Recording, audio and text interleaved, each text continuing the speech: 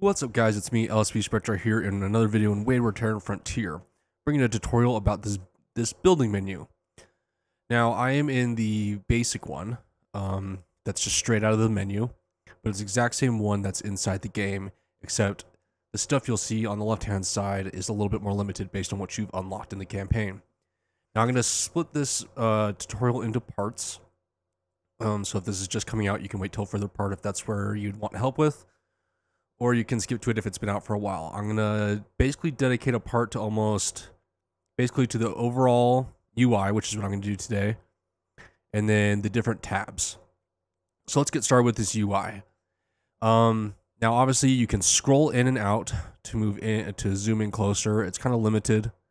Um, and then you've got the arrow keys. Now, most of the stuff is you can kind of see different things on the menu to help you, but I'm gonna kind of explain things to you. Now you'll notice when I hover over something, it gives me information about the module, um, which is the different things that you can that you can actually place onto the ship. Um, that is because we have this uh, question mark deal selected, and so when I don't have anything in my in my hand to place down, when I hover over, um, it will be there. So I remove the thing from my hand, and it's right there. How I did that so quickly is I selected something from the side menu. I was able to click it. Now I can press spacebar to remove it. You can see it's no longer on my cursor. Now I can also hit spacebar over something to grab what that was. So now I have armor in my hand, remove it. I do it over the missile or the turret. Now I have the turret in my hand, spacebar to remove. So if you're hovering over and that and this text is blocking you from seeing something, come over and grab something small and hover it over again and you'll no longer have that. You can kind of get the same thing from the dropper. It, it gets you, but spacebar is a quick way to do it. We also have the group select over here on the left where you can group select modules um, and you can use this to help you copy, paste, and delete. So if I decide to delete this, I can select that, and I believe I press the delete key. Yep. And it deletes it. You can also press Control Z to undo that. Um, you can select this and do Control C to copy it. And I believe you can then do Control V, and you can now paste it wherever you would like. Remove that from my inventory or from my mouse. Go back to this. And that's uh, mostly the basic mouse controls um, and keyboard controls, or at least the ones that I use the most. Now, when you're building, this is obviously already built. Um, you may have noticed that while I was hovering over, I'm actually going to select armor so we don't have that text. We have different power deals. Now, this is kind of like a mini menu of what is the power overlay or energy overlay. So if I clicked energy overlay, I can now see what is connected and what is not. So yellow um, is a module that's been connected, and green is the wiring, and blue is a source. So, for example, if I come over here and delete that, we can now reset our, oh, no, it's still connected right there. And auto updates. So now this is all red. You saw you see that the wires go red and the module itself goes red. That means that is not connected to energy.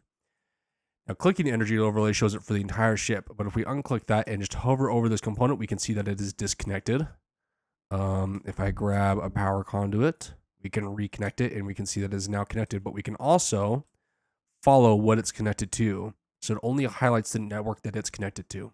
So it's connected to the small reactor right here, as well as the big reactor right here, which is also connected to all of this. So it kind of helps you narrow down and follow pathways of power that you've set up and kind of help you keep that all straight and make sure that you didn't accidentally leave a wire or cross wires when you didn't intend to things like that. Um, in terms of the stuff up here, we've got the turret overlay, which shows uh, the degree of rotation your turrets have. So we'll go to this one as a good example. Uh, the turret, what are they called? They're turret tracks are, are placed in a sense in a way to where this turret can rotate all of this degree and cannot rotate here. So if you aim right here, it's not going to go to. If you were aiming here and move your mouse to over here to aim, the turret's gonna have to rotate all the way around. but it kind of gives you your field of coverage. Now, this ship has a lot of turrets, so this place is kind of hectic in that sense, but it does give you a good sense of um, how much coverage your turrets are giving you in terms of uh, shooting rotation.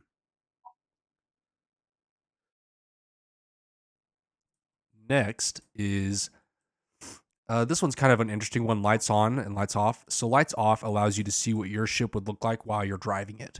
So, you can kind of see whether it's going to bug you and you need more hallways with lights to be able to see a little bit better. This kind of gives you an idea of what the ship is going to look like while you're flying around. And then lights on is like you're in the shop and you turn on your shop lights and now can see everything. It's kind of a cool feature, um, not necessarily needed, uh, but it can be nice to see how much your hallways are lit up if it bugs you, if that bugs you. Now, the one that I use the most is mirror. If I turn on mirror, you now see the dotted line through the middle. This allows you, if we zoom in, if I select this armor piece, we can now, in mirror, place objects and delete objects. Uh, you can see it, how I have two turrets, a little bit bigger. It's just is really nice, especially when filling in shield to only have to do half the ship. So much nicer. I highly encourage you using this mirror option often. Um, especially if you're a fan of symmetry like I am when building ships. Um, it just makes it so you only have to do something once rather than twice. it makes a really big difference. Um, so I use the mirror function the most out of everything up here. And then secondly, probably energy overlay. I don't often use turret overlay, but it is nice to get an idea at the very end to make sure you didn't miss anything. Uh, over here, you got some good information. You got the price of your ship, how much it's going to cost you to make, its inertia value and integrity value. Um, we'll go more into this in a later tutorial, but for now, what you need to know is that your integrity needs to be higher than your inertia or your ship will start to break. Or it can break faster. Essentially, this number needs to be higher this one for it to be good mass can be important to kind of maybe help you decide how many how much engines you need. Um, but overall mass, I don't really use this number very much. Cargo space is how many squares of cargo you have. That can be nice. Um, reactor count, um, optimal power, uh, optimal heat output, maximum heat venting. It can be useful if you're trying to determine stuff for uh, reactors and such. Um, but I don't find it too useful. Um, you can click on modules and they can give you information. A reactor is the only one that I know of. You kind of get the same information from just hovering over, though, if you do want to compare two reactors to see what they're currently at, that is useful to keep that menu up.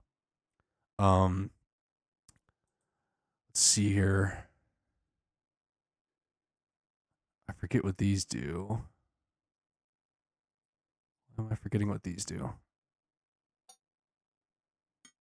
Oh, this is just hot swap between uh, materials you've used. If you want to keep a hot swap menu up, if you're, if that helps you with your building. Um, if you are still curious about things, you can open up the codex and it gives you some good information about mostly power between reactors, radiators, and conduits. Um, you can also find lots of tutorials out there, not just mine. I have some, but there are other people that have placed some. That is pretty much the overview of what uh, the main UI looks like. Now, this is, I do before I end this. Obviously, this is a set up ship, but if I take this just to give you a better idea, in case you haven't explored the game much, and this is maybe your first look at the build menu, if I select all this and delete, this is obviously the grid you start on when building stuff. Um, with the mirror on, grab some armor, and this is kind of the surface you are building on. Obviously, where you can build ends where it hits dark. Um, as you can kind of see by the outline that's already there. If I undo that, you get that.